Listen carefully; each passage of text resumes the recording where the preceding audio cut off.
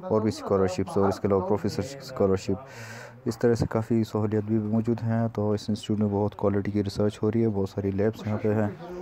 اور یہاں پہ بہت سارے پاکستانی اسٹوڈنٹ مختلف انسٹیٹیوٹس کے اندر ریسرچ پرفارم کر رہے ہیں۔ یہاں پہ کاس اسکالرشپ سی سی اسکالرشپ اور کئی اور بھی اسکالرشپس اور اس کے علاوہ پروفیسر اسکالرشپ اس طرح سے کافی سہولیت بھی موجود ہیں، تو اس انسٹیٹیوٹ میں بہت کوالٹی کی ریسرچ ہو رہی ہے، بہت ساری لیبس یہاں پہ ہیں۔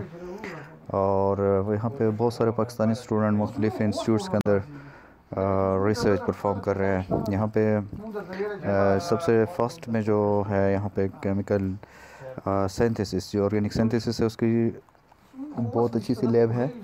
اور اس کے علاوہ یہاں پہ ایٹامک انرجی پہ ریسرچ ہو رہی ہے یہاں پہ بیٹریز وغیرہ یعنی مٹیریل کے اوپر بھی ریسرچ ہو رہی ہے بہت اچھی سی کوالٹی کی ریسرچ یہاں پہ ہو رہی ہے اور پاکستان کے بہت سارے دوست احباب یہاں پہ موجود ہیں میں یہاں پہ اپنے دوست ظہیر عباس کے ساتھ واک پہ نکلا ہوں میں آپ کو ڈی آئی سی پی کی تھوڑی سی سیر بھی کروانا چاہتا ہوں۔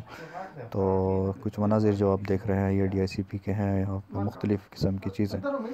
اور اسپیشلی بلڈنگ کا انفراسٹرکچر بہت ہی اچھا ہے۔ اور اسی طرح سے یہاں پہ روڈ کی مینٹیننس اس کے علاوہ گارڈننگ اور چاروں طرف کھلے کشادہ روڈ چھوٹے چھوٹے راستے۔ تو بہت ساری ایسی چیزیں ہیں جو کہ بہت ہی اس کو نمایاں کر رہی ہیں۔ یعنی انسٹیٹیوٹ اگر ہم اس کو کمپیئر کروائیں پاکستان کے کسی انسٹیٹیوٹ کے ساتھ، تو ایچ ای جے ہمارے پاس ایک ایسا انسٹیٹیوٹ ہے جو اسی طرح پہ کام کرا لیکن ایچ ای جے کا جو انسٹیٹیوٹ ہے وہ بہت ہی چھوٹا ہے اس کے مقابلے میں۔ اس کا ایک یونٹ کے جو جتنا امپیکٹ فیکٹر ہے جو ریسرچ ہو رہی ہے، وہ سمجھ لیجیے پورا ایچ ای جے کے اندر اس کے ایکولنٹ بھی کام نہیں ہو رہا۔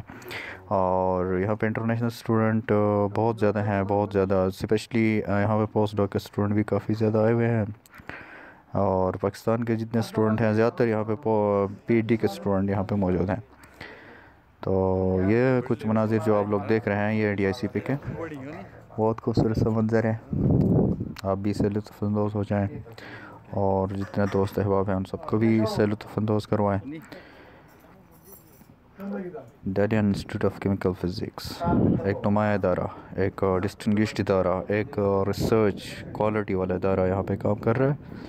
اور اس کی مختلف لیبس کچھ دوستوں کے ساتھ بھی آپ سے ملوائیں گے بات میں کہ جو یہاں پہ کام کر رہے ہیں، پاکستان کے بہت اچھے اور پبلیکیشن اور امپیکٹ فیکٹر جہاں پہ جو پبلش ہوتا ہے پیپرس اس کا امپیکٹ فیکٹر بھی بہت زیادہ ہے تو جتنا آپ کو یہاں اس کا لک نظر آ رہا ہے، اس سے زیادہ یہاں پہ کوالٹی پہ کام ہو رہا ہے۔ سو یہ پرسیپشن آپ لوگ اپنے ذہن سے نکالے کہ چائنا میں جس طرح سے نارمل کوالٹی کی چیزیں پاکستان پہ ملتی ہیں تو لوگ یہی سمجھ جاتے ہیں کہ بھائی یہاں پہ پتنی ریسرچ بھی شاید اس طرح کی کوالٹی کے نہ ہو۔ لیکن ورلڈ لیول پہ سب سے زیادہ اس وقت امپیکٹ فیکٹر پہ پبلیکیشن جو ہے یہ یہاں سے ہو رہی ہیں۔ اور اگر کوئی ناول کمپاؤنڈ یا اس طرح کی کوئی چیز مٹیریل وغیرہ انوینٹ اگر ہو جاتا ہے تو اس کو پیٹنٹ بھی کیا جاتا ہے اور ویسے تو ساری ریسرچ پیٹنٹ کی جاتی ہے یہاں پہ بٹ کوئی ناول کمپاؤنڈس ہونا ہے ناول کوئی کام ہو تو اس کو بہت اچھے جرنلس میں پبلش بھی کیا جاتا ہے۔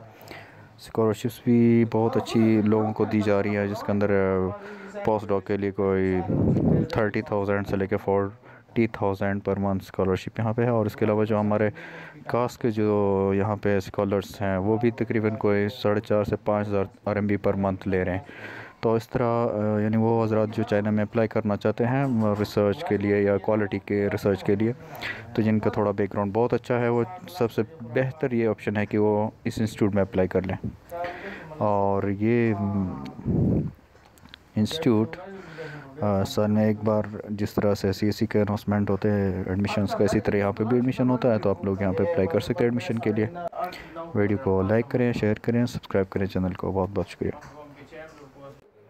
o Rudei